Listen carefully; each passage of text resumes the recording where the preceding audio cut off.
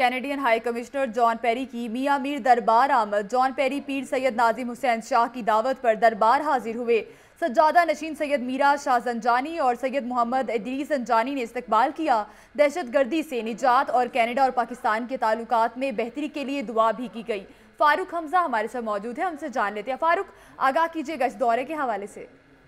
جی Canadian high commissioner John Perry جو ہیں، وہ Pir Syed Nazim Hussain Shah international interfaith harmony council کے جو چیئرمین ہیں، ان کی دعوت پر میاں میر دربار پر یہاں پر آئے ہیں۔ اس موقع پر ان کے ہمراہ سجادہ نشین Syed Mira Shah Zanjani, Syed Muhammad Idrees, Pir Syed Shah Kazmi Kashif ur Rahman secretary general rice exporter association Syed Raza محمد اور دیگر بھی موجود تھے۔ اس موقع پر سید ناظم شاہ نے ملک کی ترقی اور دہشت گردی سے نجات کے حوالے سے پاکستان اور کینیڈا کے بہتر تعلقات کے حوالے سے دعا کی۔ کینیڈین ہائی کمشنر نے دربار پر حاضری دے کر دعا بھی کی۔ اس موقع پر کینیڈین ہائی کمشنر کو استقبال کے موقع پر گلدستے پیش کیے گئے۔ کینیڈین ہائی کمشنر کا کہنا تھا کہ پاکستانی لوگ بہت اچھے ہیں، بہت اچھے اخلاق کے مالک ہیں۔ پاکستان نے دہشت گردی کے خلاف بہت زیادہ قربانیاں دی ہیں۔ اس کو پوری دنیا بھی سراہتی ہے اور ہم بھی پاکستان کی ان کاوشوں کو سراہتے ہیں۔ کینیڈین ہائی کمشنر کا کہنا تھا کہ اور بہت اچھا لگا ہے اور پاکستان میں آ کر بہت زیادہ خوشی ہو رہی ہے۔ یہاں کے لوگ جو ہیں وہ بہت